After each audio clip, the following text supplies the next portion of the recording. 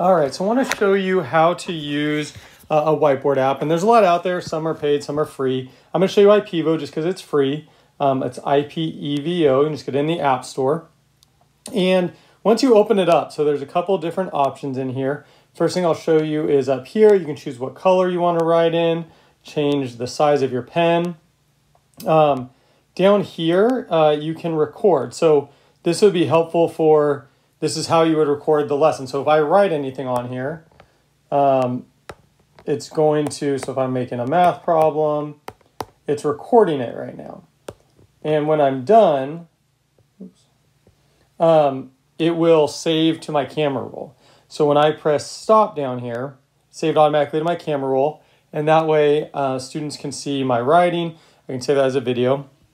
I can also hit this green button right here, and that saves the image. And then let's say I want to take a picture of something. So um, up here in the top, this camera button will allow, I like to access the camera. So let's say I took a picture of this book. And I might want to add that to my board. And even that, I can just write right on, whatever it is. So let's say I didn't like that writing. Uh, there's the trash button up here, and I can clear that. Also down at the bottom, it says what slide number you're on. So if I want to go back to my first slide, or see my second slide, that's how it works. Or let's say I want to add an image. So I showed you how to take a picture. Let's say I want to add an image. Down here by the two out of two, if I click on the image and the plus, and I can do a plain white background, so I want just a new slide, or I can get an image from my photo library.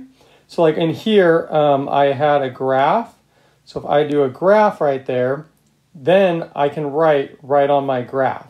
So I can, you know, show, uh, you know, I can write right on there, go to my next slide. Um, once again, to go to the next slide, I hit down here the um, arrow button to the right, arrow button to the left. I can go back through my slides.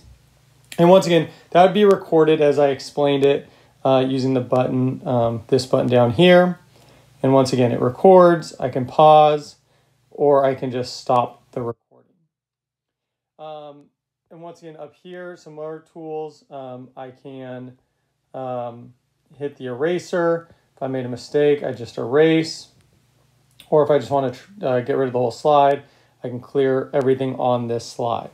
So that's how IPEVO works. Um, that's a you know like, I know there's fancier ones out there. There's things you can do more, but this is a good start if you're looking to do a whiteboard and um, save it. So I have the video. Um, once again, I can go either Drive or Classroom. So I went up to Drive. I can press plus, uh, upload. I can get photos. Um, I need to allow it, and I can find my drawing uh, or sorry from IPEVO. So it's uh, like I could grab the 20 second one and I can upload it.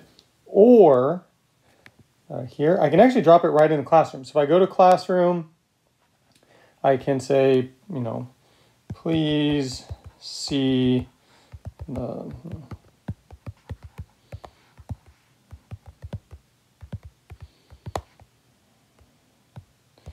All right. And then I go up here to the uh, paperclip, um, pick a photo from, and even though it's a video, it says photo. So if I grabbed that, or so says if I want to see it. So once again, you can see my math. I press use, and then it drops it right into Classroom. So hit send, And there it is. It's in my classroom. I didn't have to airdrop it or some of that stuff. So once again, you could go Drive, uh, you could go um, right into Classroom, but that's how you record something in IPEVO and then put it right into Classroom. So that's how, once again, I use IPEVO. You could use, there's a number of whiteboard apps, but that's how you take it, save it to your files, and then drop it in Classroom or Drive.